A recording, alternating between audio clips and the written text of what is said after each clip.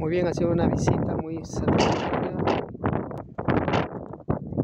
Se han animado para comprar, ya escogió su lote ya en el tercer condominio. Les ha gustado el tercer condominio, así que ahí han escogido un lote y un estacionamiento. Nosotros no vamos a regresar a Casma, ellos se van a Lima,